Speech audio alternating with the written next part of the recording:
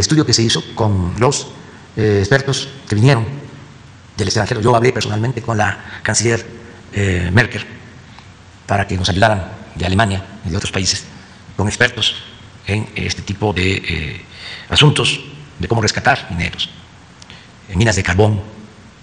La señora Angela Merkel se portó muy bien, nos mandaron especialistas y también de otros países.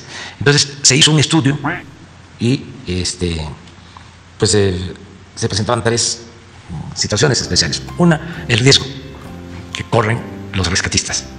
Dos, el tiempo que mm, nos va a llevar. Eh, tres, el que em, no podamos encontrar los restos por este, explosión o por lo que haya sucedido. Em, y otro asunto que no era lo principal, el costo. Entonces, como no hubo consenso, como no este, estuvieron todos de acuerdo, la mayoría sí decía eh, el memorial y ya este, la reparación del daño. Pero algunas familias dijeron no, tenemos el rescate.